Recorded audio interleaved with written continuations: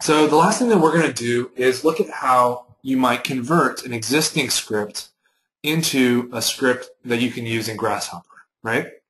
In order to do that, we're going to say, look at this uh, simple branching script that um, that we wrote uh, a while back. Um, some, before there was uh, much functionality with using Python script in Grasshopper, we wanted to look at um, a script that would use branching, uh, sorry, would use recursion to achieve branching, something like this, right? So um, what, what we need to review is um, how exactly the branching uh, logic works, which is going to all be done through vectors. Um, and uh, recursion, right? So vectors are an abstract data type that describe two properties, those being direction and magnitude. So here's a representation of a vector, right? You have a change in x, y, and z as the elements that compose the vector. This is delta x, delta y, delta z. And with those values, you can understand the direction from the base point to the tip, as well as the magnitude, which is you know how long this vector is, right? And um, we can gather vectors or, or, create vectors by two points, and we can also compare vectors, right? Uh, or manipulate them, right? I could rotate vector A about vector B, right? And that uh, vector rotation is how you can start to um, get your branching script to kind of grow from down here and rotate and rotate and rotate, etc., until you get to the outer edge. Right? So you're not growing a straight line, but you're branching outward. Okay, so in order to actually uh, structure the script so that it will branch, we're going to use um, a recursive logic, right? So we're to um, to execute an action recursively means that you're just going to repeat that process in a self-similar way until the desired goal is reached. So the difference between iteration and recursion is that iteration is a step-by-step -step process. First I make sphere A, then I make sphere B, then I make sphere C, right? And you can look to, to the sphere that was created just before you to do something to make it a little bit more smart. Um, but in contrast, a recursive logic says, I'm going to define a kind of rule or um, a, a, simple action like branch. So I'm going to uh, kind of skew off a little bit the main axis, and then I'm going to go a certain distance. That little action, right, to branch, is going is a little uh, self-similar action that I can call to multiple times, right? And instead of having to say I want to step 10 times in the x and 10 times in the y like we did before in our loop, if we're using a recursive logic, we can say we want you to grow um, branches until you get to a specific condition, right? Which is slightly different, right? It's not necessarily uh, as kind of top down. So the kind of um, the funny line uh, for uh, describing recursion is that to understand recursion, you must first understand recursion. Uh, because exactly where you start um, can be a little bit um, unclear. And so if you're understanding recursion, then you're already understanding recursion, then you're already understanding recursion. Uh, kind of a chicken and the egg thing.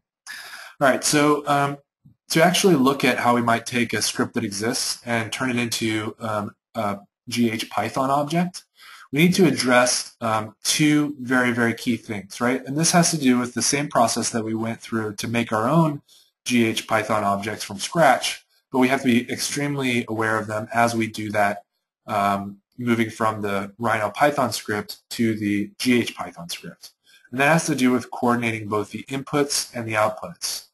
And this is going to happen on the object itself as we uh, have defined it in Grasshopper, as well as in the script as we're modifying it from the Rhino Python script to the GH Python script. Okay, so um, let's go for it, right? So we're not going to actually script the, the branching, um, we're not going to script the branching logic. We're going to say that we, um, we had done it before or we found someone shared it with us and we were really interested in it. Um, but let's take a look at how, how it looks in the Rhino Python um, editor. So I'm going to open the Python editor, and another way to get to it is by typing in edit Python script in the command line. And I'm going to open 1-4 branching. This is in your, your files that uh, we gave you on the download link. And there's a, a lot of comments in here, so it hopefully is a, a little bit easier to read. Um, the only thing that we haven't really done uh, today is to use the random library, which is pretty simple, just to say I want a random integer. Um, to work with vectors, which are going to be um, probably best way to look at the operations you can use for vectors are under the um, the Rhino Iron Python help, which would be no point vector, right? So the vector operations and the point vector, the point operations are both under this menu, right? So you can uh, find the cross product, create, compare, etc. Um, otherwise, the only thing that's really different is that we've created a little um, little action called draw branch, and that's the thing that's going to get called recursively. All right. So let's say that we um, we wrote this script and we want to convert it into a Grasshopper or GH Python object. Um, we need to look at the inputs, right? In the same way that anytime we asked or prompted the user to define something, um, before. We have to look at how we can convert that into an input for Grasshopper. And then at the end, instead of just um, returning uh, the drawn or cre already created lines, right, we have to actually um, include those in the output, right, by giving them back to uh, Grasshopper to work with further.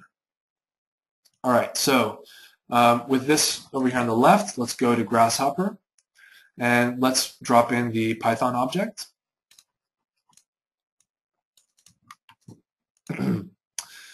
and let's start by defining the inputs, right? So here it says get curve from user, right? So the first thing that we're going to have to define is the curve. So let's use the same um, variable names that we have here to define our inputs. So x is going to become s line, or starting line. Y is going to become rotation, ROT. I'm going to add another input by clicking the plus sign. This is going to be branches. This is how many times you want to branch at each uh, intersection. And then one last uh, input for the levels, which is how many times you're going to grow your branching structure, right? Is it one generation, so it's just a straight line, or is it five generations? So we'll, we'll call that levels. Okay, and while we're here, let's look at the actual inputs here and see the for the rs.getReal and specify what uh, type hint we should have, right? So s line, if we right click and say type hint, notice how in the Python script that we already have, it says get object. So that's generic, right? That's just any object. Um, we could be more specific. We could keep it as object, or we could say, I want it to be a curve, right? Let's see what happens if we just say uh, object. This is generic object. right? ROT, get real, that's got to be a uh, floating point value, or also known as a float.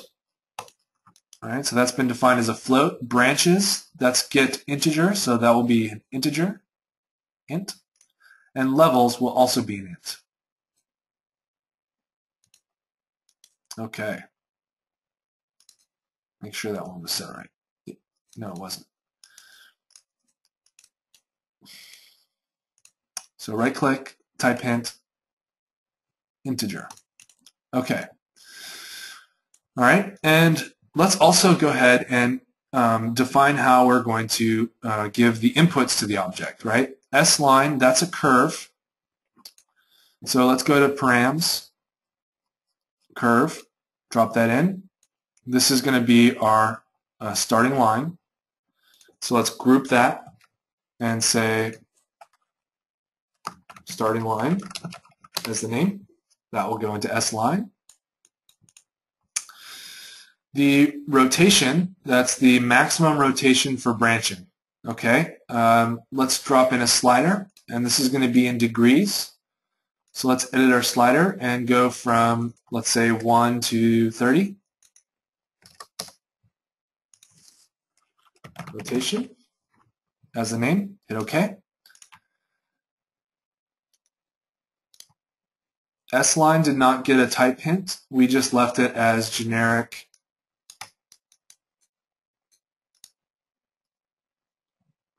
object.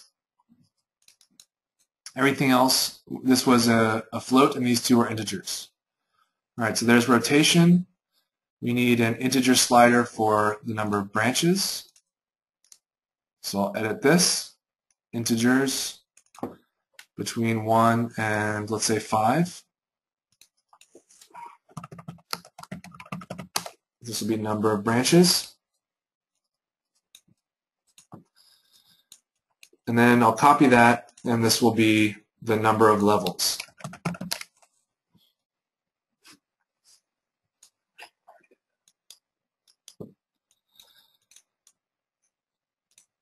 Okay, so now we've got all of our inputs.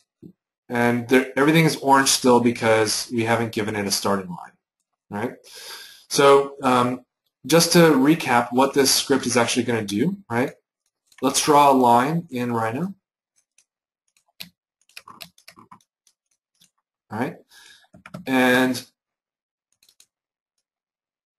if we hit play on the script, select the starting curve, select, select max rotation for branching, number of local branches, number levels of growth,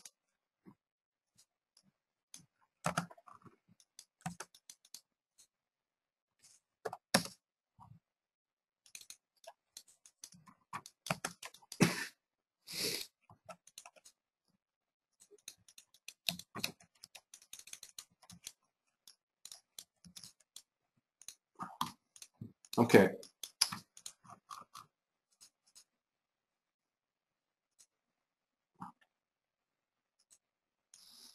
I think that there was a bug here. Let's try one more time.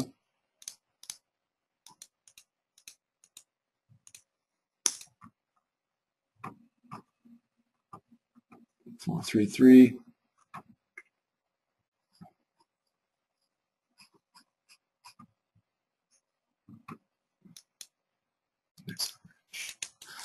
All right.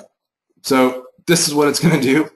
Um, I'll double check the script and make sure that it gets into the uh, the instructor files for the post-webinar file, file exchange.